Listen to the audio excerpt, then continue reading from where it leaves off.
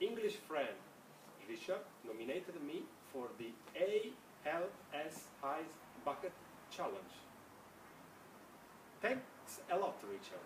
I really, really appreciate it. But now it's the right time to nominate the Italian franchisee representative. Let's go.